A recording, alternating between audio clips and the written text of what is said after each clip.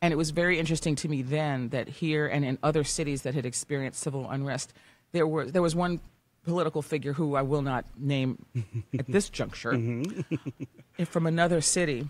Uh, and when I was trying to arrange interviews with this person about the civil unrest in his city, his representative said he won't talk about it, and if you bring it up, he'll walk out. Really? Which they, which, which, frankly, is never going to happen. I mean, people Yeah. generally aren't going to do that, but sometimes. But the fact that there was this vehemence about not talking about it, I found strange mm-hmm. and noteworthy. Yeah, yeah. And I don't find that now. And I wonder if it's the passage of time. Is there something about the 50th anniversary that allows people to release whatever delusions or preconcept or whatever that they had about it?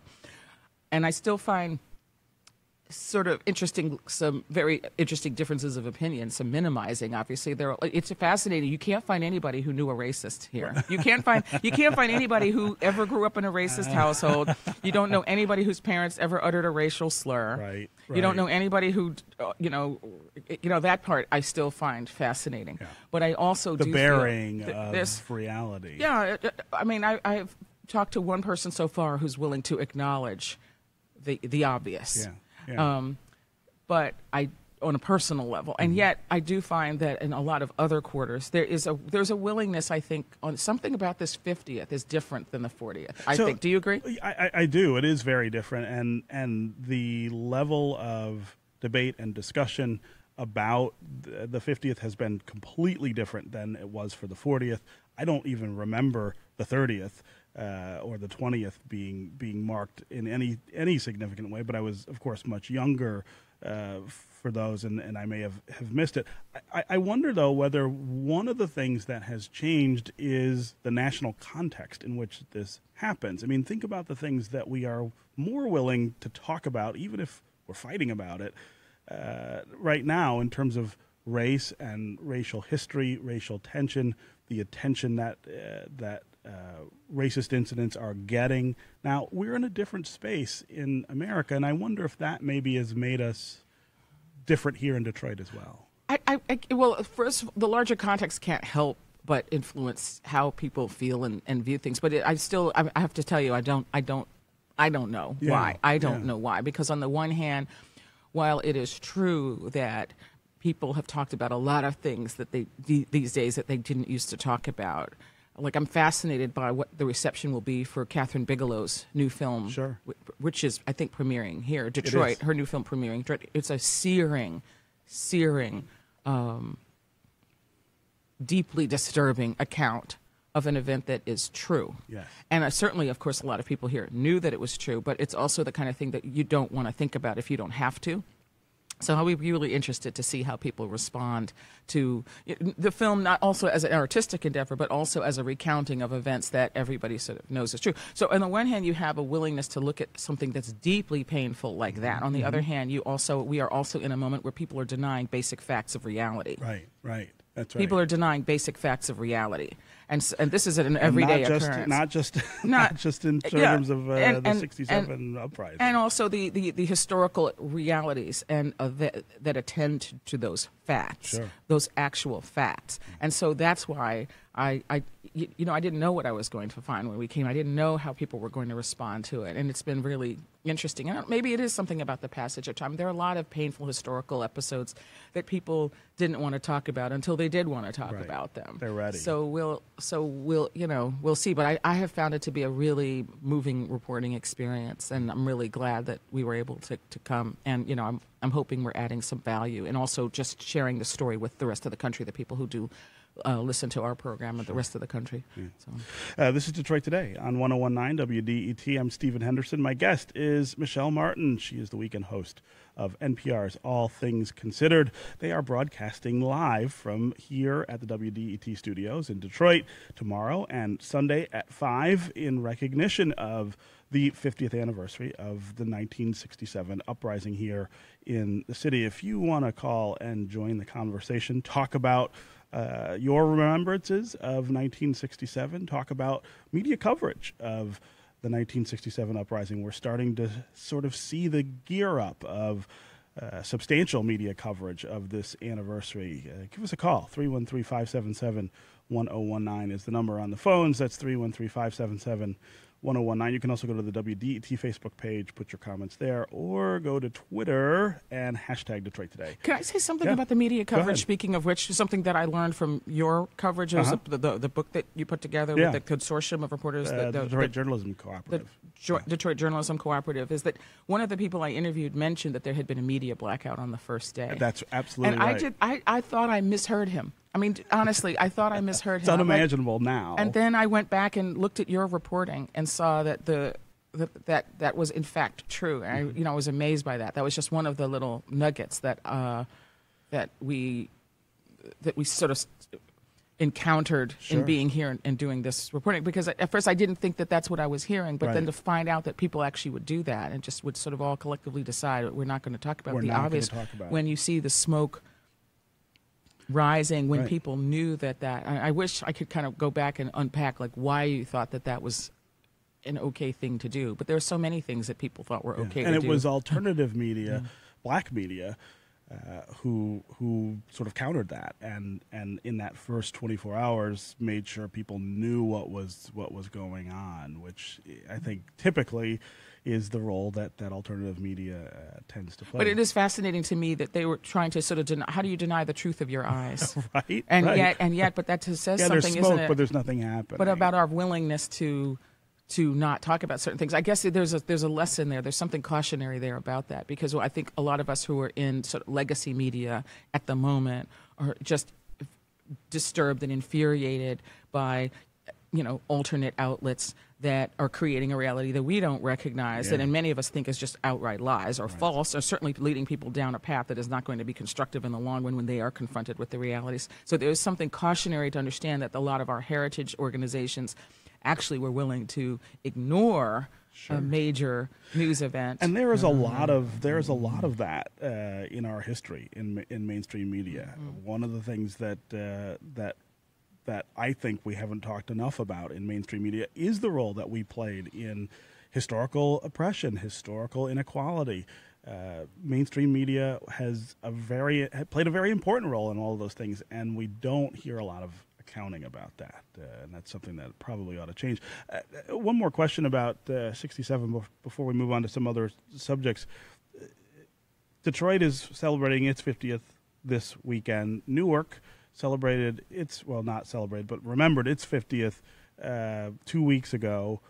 There are several other cities, you know, between 1965 and 1969. This happens in many American cities. Why? Why Detroit? Why did you choose Detroit of all of the places you could have?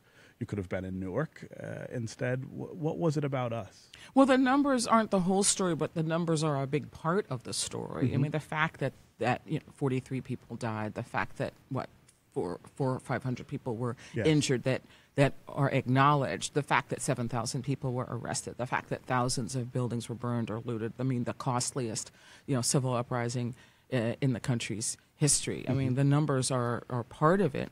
It's also a confluence of things too. I mean, the fact that there is this We've been here several times, as you know, in recent years. Uh, I've been here several times in recent years with, with different teams working on the programs that you were nice enough to mention to report on all the things that are happening in Detroit. One of the things that, like the last time we were here, for example, we did a really fun program, a live event uh, that we talked about, you know, doers and makers, you know, people, you know, the food scene, the fashion scene, the art scene, the culture scene.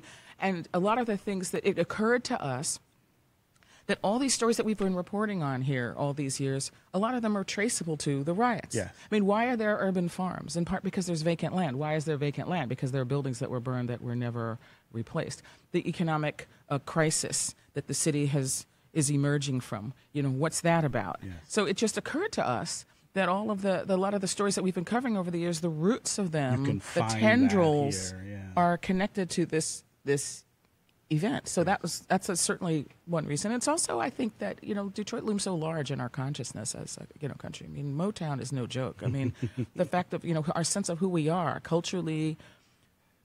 You know the automobile industry and its connection to all of our lives. I mean, the fact is, everybody didn't work in the auto industry, but everybody knows somebody who did. Yeah. It's just so many, so many things, and I think that it just And, and also, just to be honest, from talking about the way the news media operates, is that you know the fact that these events happen on the weekend, and we consider the weekend to be our responsibility. Like what happens on the weekends is our is our Yes. responsibility. So that was a, a major reason for coming here, and also to see you, Stephen. Yeah, well, I mean, well, of I mean, it goes without saying. That's always right. a goes without sort saying. of draw, right? Let's go to the phones here. Linda and Algonac, welcome to Detroit today. Hello. Hey, Linda. How are you? Hi. Uh-huh. Hi.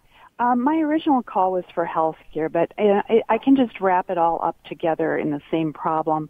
Um, this country has become one of unmitigated greed and capitalism, unbridled, and therefore the underprivileged people will suffer the most. The oligarchs of this nation are grabbing everything they can, and that's why we can't have like a single payer health care like other countries. The richest country in the world should be able to give health care to everyone.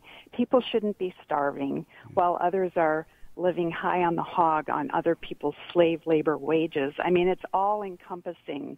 And a lot of it's for the you know people of color that that is i see that problem constantly and then to have people that are younger pay more i mean pay less and older people well john mccain got a tumor but i know many young people who get tumors and accidents and tragic things happen to them.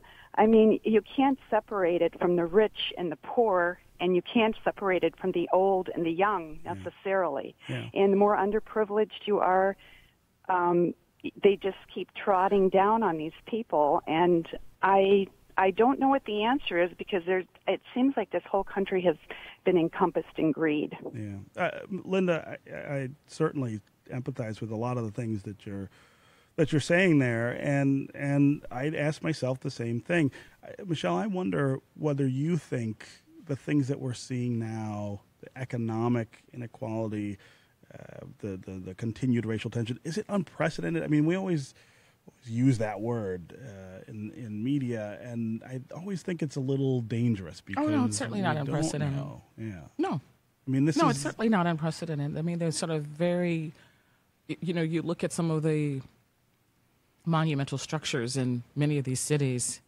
and those were the opportunity to amass that kind of wealth was available to the very few, and, and the very few amassed a very great deal of it. Yes. So that is this is certainly not unprecedented. I think what is different is our ability to discuss it in a way that did not exist. That people are, are uh, even people of very limited means have access to information that they did not have. Yes. And I think that it's something that. Um,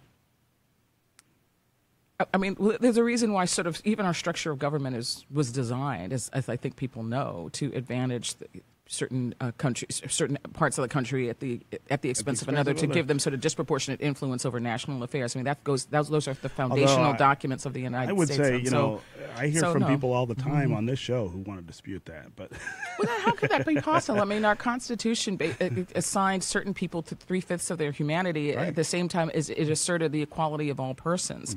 I mean, this isn't to, you know, uh, this isn't to sort of set up sort of an ongoing, centuries long sort of grievance party. That's not the point. The point is to acknowledge the truth of it. Yes, The truth of it. And so, you know, our systems have worked well for many things, but they have not worked well in redressing inequalities that were baked into it from the beginning. that's right. Eh, We've So- been really bad about that. Yeah. All right, we're going to take a quick break. When we come back, we're going to continue our conversation with Michel Martin and hashtag uh, Detroit Today. Uh, Michel, I said in the in the intro for you that uh, you had uh, that you launched Tell Me More in 2006, and that show ended, I think, a couple years ago. Um, I, I have to say, it was it was one of my favorite shows, not just on NPR, but on all of radio. And Thank you for that. It was one of my favorites I too. thought it well, I'm sure it was, right? Uh, and I thought it was very bold in the way that it challenged listeners to think about the things that are around them every day that touch on race and inequality, but that they maybe don't understand or recognize or even want to acknowledge. And I'll say this uh, since that show is no longer on the air, I don't know that on a national level we have we have gotten anyone to sort of pick up that space. I feel like that's a chasm now that exists on the airwaves. Well, I think that somebody who I think is coming close in a way is W. Kamau Bell Uh, on yes, CNN. sure. I mean, he had a program earlier on FX that was canceled. That was a talk show similar Uh-huh. to Mm-hmm. to the to mine. And then I thought that Larry Wilmore on his late program, his uh, late late show on Comedy Central was was similar. and I always. I found his sensibilities very similar. I, I liked him a lot because he was also uh, had a man of, of some years on him, like I do, and Yeah. and and I felt that that was important because I felt that I think a lot of times we sort of pretend that you know all conversations are new nothing's ever been heard of before it's never been talked about it's all new and and you have a certain credibility when you've been around for a little bit and you've covered some things Sure. and you had some conversations and you're not afraid of things and it's all you're not like shocked by everything Right, right, i mean there's a reason why a lot of people come and ask you like for advice right because you because they think you might have some See the gray hair? yeah. like, yeah. So I don't have any gray hair. I- just to let you know, me. I don't have any. But um, but anyway, and I'm going to make sure I don't. But but I'm just saying that I think that, that there are people, and I, I, I think W. Kamau Bell is doing some some interesting work. But it is interesting to me that he's a comedian Yes. and not a journalist. I mean, I think his work is journalistic in the sense that he goes, he asks questions, he listens to people. Um, and I, you know, I respect him as a thinker, Uh-huh. but he's not a journalist. And it just, I don't know. There's something that does bum me out about it. I have to be honest. That that that it's like comedians are the people who are somehow empowered to do this, that should do that That's kind of work. interesting observation. I Yeah. haven't thought of it Yeah. that way. Yeah. That, that we don't have in the journalistic sort of Yeah, uh, Trevor media. Noah. Trevor Noah, and before him, Jon Stewart, and uh, you know, I think they they do some. I should you know bring him up too. You know, the I think they're doing a lot of those conversations, and Jon Stewart was doing some. And it was interesting that there was some interesting. You know, racial dynamics on Jon Stewart's show that came out as Yes. The, the show was concluding. That mm-hmm. y- you know, but it's interesting to me that comedians are really, in my view, owning that space. Yeah, yeah, that's different. Let's go to Malcolm in Detroit. Malcolm, welcome to Detroit today. Hey, uh, good morning to you both. Hey. To my favorite people in radio. Glad Hey. to hear your voices. Very nice Uh, I definitely missed Tell Me More also. So my question is with uh, the Detroit movie coming out by Kathryn Bigelow as well as the 12th and Clairmount documentary, just two very different art pieces that uh, speak to what happened in 67. Just wondered, because it sounds like you've seen Detroit, Michel. I'm just wondering if you've seen 12th and Clairmount and just uh, either of you can just comment on just both of those pieces of art from different aspects of what happened in 67 and how might that um, help people understand because for some that's going to be their only um, exposure or um, access to the conversation um, is, is watching those two pieces uh, of, of work. Yeah, uh, great, great question, Malcolm. I, I don't know if you've seen 12th and Clairmount. I have not. I'm Okay. hoping to see it before I Yeah. go. Before But you have I- seen Detroit. I have seen Okay. Detroit. So I have I've seen 12th Detroit. and Clairmount. I have not yet seen Detroit. So between the two of us, we may be able to to couple like, uh, uh, talk about what uh, Detroit, the this this fictionalized account of, of something that actually happened. Well, really, it's really fictionalized, but from my understanding of the reporting, it is very much rooted in fact. And um, I think it's going to be a hard watch for people. I think if people plan on taking their children, they, they might consider watching it first themselves to be sure that, Uh-huh. Is it is appropriate. Yeah. We went with our, our entire team that came here from to that came out here to put on our programs this weekend, and I can tell you that um, nobody talked on the way back from the screening. Wow. Uh, everybody had to take a minute to several minutes to process. I can tell you that one of the uh, my particularly film savvy staffers said, "That's a horror movie, and you're trapped." And you can't get out. And I thought that was very insightful. It's like, in, in, in, in the sense of, you know, I'm trapped and I can't get out. And I think that that works both as a factual depiction and as a metaphor for this sense of understanding all of the things that happen. I will say that um, if you, you if you're familiar with Kathryn Bigelow's style, you know from the Hurt Locker and Zero Dark Thirty, that she kind of her signature is taking you there where you really feel like you're in it. You're with the people who are in it, and I'm not sure everybody. I'm not a film critic. Okay, I don't do I don't do reviews. I, I you know I, my conversations with people are, and we will be speaking with her for our Sunday program, just so you know, as well as Algee Smith, one of the stars of the film. So we'll be speaking with her for our Sunday program. Is that to tell you that um, it's very intense, and I'm not sure that is that's why I am interested to see how people react to it. What, are you really, really to sit to think about that? Yes. Are you really willing to go through that and sit there and put yourself in that place? Yeah. And with you know, and and uh, who's your hero? That's the question: is do people need a hero, and do, who's the hero that they that they want? And that's why I will be really interested to to see the reaction Yeah. when the film comes Yeah, out. I, I am eagerly anticipating seeing that that film. Twelfth and Clairmount is really different from that uh, in that it is it was the result of a call out to people in Metro Detroit for footage that they had uh, in their basements or wherever from 1967 or the late 1960s here in Detroit, and it is at once a sort of nostalgic piece, but also then, of course, conveys the sadness and the anger and the frustration with what happened in July of, of 1967. But it does it through the narrative of people who not only were there, but now have photographic uh, evidence of, of having been there. There's not a lot of footage of the of the uprising that we haven't seen before in it, but there is tons of footage of the city and what the city was like and what the neighborhoods were like at the time. And one of the things that struck me is just how different it looked. Uh, this was a really different place, and I wasn't alive in 1967. Uh, but I was born just a few years later, and I can remember how different the city was uh, as well. Uh, I think if if the two films have anything in common, it's probably again this this ask of the viewer to really to really be open to to, to confronting some of those difficult questions. Uh, you know, 12th and Clairmount deals with the change in Detroit neighborhoods from white to black and what that looked like and what the reaction to that was in advance of the uprising. It deals with the police brutality issue. And it does it in a different way, obviously, than, than Detroit, but well, they're all there. one of the things that I think that the Detroit film ponders, and this is where I will again be really interested to hear how people feel about this. Is a lot of these other incidents of police brutality that have been in the news in recent years happen in a split second. It's Yes. like it was a couple. It was a, it was a, it was an encounter that happened quickly. Decisions were made quickly, and the the defense is well, you know, what would you have done in my place? Or mm-hmm. I only had like a couple of seconds to think about to react. I was reacting, and as we see, the juries have been very sympathetic to that argument. As they traditionally have been very sympathetic to law enforcement in this country, I going back to the re- going back to the revolution, you know, when you know John Adams successfully defended the British soldiers who fired on on the prac- Right. on on the Tea Party, you know, protesters. And I'm not I'm not talking about in 2010. I'm talking about back in the 18th century. the actual So, Tea Party The actual Tea Party. So people have been very in this country. Juries have been very sympathetic to people in law enforcement who were acting in the course of their jobs in a split second situation.